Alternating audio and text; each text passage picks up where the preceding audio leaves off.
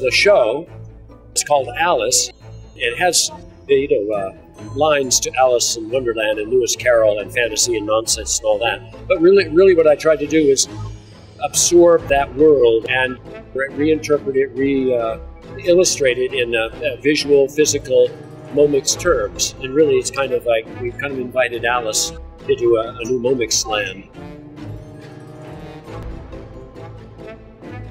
We have a long-standing relationship with the Teatro Olimpico and the Academy Filarmonica.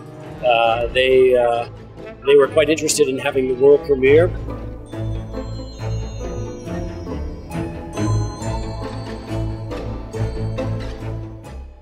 I was fortunate to see the new Momix debut on its opening night, and it was absolutely spectacular. The colors, the music, the inventive choreography, it just gives you a whole different idea of the Alice in Wonderland story.